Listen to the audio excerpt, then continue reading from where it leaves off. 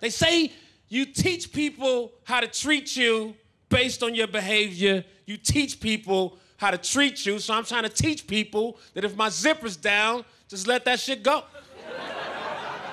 but people love telling you your flyer's down without even knowing your position on zipper politics.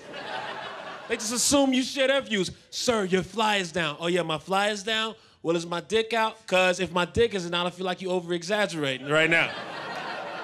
Sir, your flyer's down. Yeah, my flyer's down, because I'm not a conformist piece of shit like you. It's anarchy down here and I'm living it. What's up?